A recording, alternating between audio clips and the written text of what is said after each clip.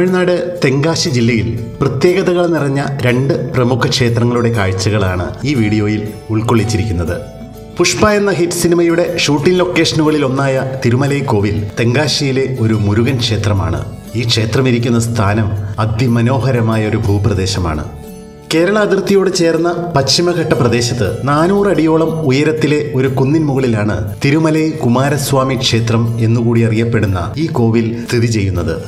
കൊല്ലം തെന്മലയിൽ നിന്നും ഏകദേശം നാൽപ്പത് കിലോമീറ്ററാണ് ദൂരം.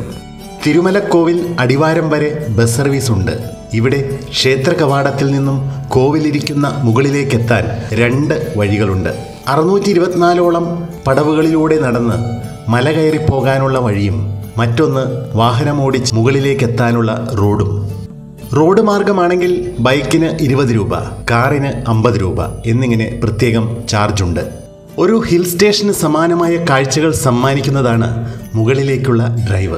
മലമുകളിലേക്ക് കയറുമ്പോഴുള്ള താഴ്വാരത്തെ പ്രകൃതി ഭംഗി നിന്ന് ആസ്വദിക്കുവാൻ ആരും കൊതിച്ചു പോകും. വിദൂരതയിൽ മഞ്ഞുമൂടിയ പശ്ചിമഘട്ട മലനിരകളുടെ നയനമനോഹര കാഴ്ചകൾ ആവോളം ആസ്വദിക്കാം.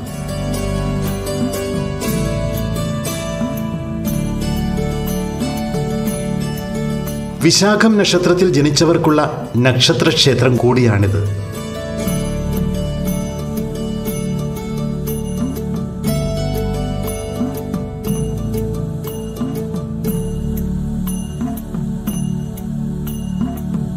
ആൽമരവും ചെറിയ ശ്രീകോവിലും ക്ഷേത്രാങ്കണത്തിന്റെ പവിത്രത പ്രതിഫലിപ്പിക്കുന്നു. മുന്നോട്ട് നീങ്ങുമ്പോൾ പ്രധാന ക്ഷേത്ര കവാടം കാണാം. ഇതിലൂടെ ശ്രീകോവിലേക്ക് പ്രവേശിക്കാം.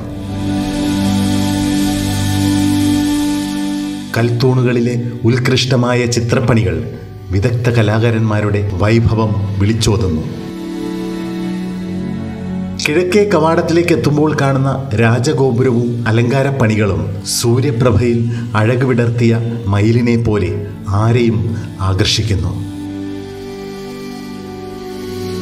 മലനിരകളുടെ പശ്ചാത്തലത്തിൽ കാണുന്ന ഈ ക്ഷേത്രക്കുളത്തെ സംബന്ധിച്ചുള്ള ഐതിഹ്യപ്രകാരം മലനിരകളിൽ വസിച്ചിരുന്ന അഗസ്ത്യമുനിക്ക് മുരുകൻ ഇവിടെ വച്ചാണ് ദർശനം നൽകിയതെന്നാണ് വിശ്വാസം.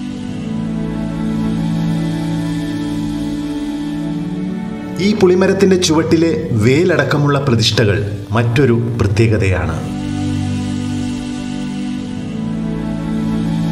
എപ്പോഴും വൃത്തിയായി സൂക്ഷിച്ചു പോരുന്ന ഈ ക്ഷേത്ര പരിസരവും ഇവിടെ നിന്നുള്ള പ്രകൃതിയുടെ മായക്കാഴ്ചകളും ഇവിടം സന്ദർശിക്കുന്നവരുടെ മനസ്സിലേക്ക് പരമമായ ഒരു ഊർജം പകരാൻ പ്രാപ്തമാണ്.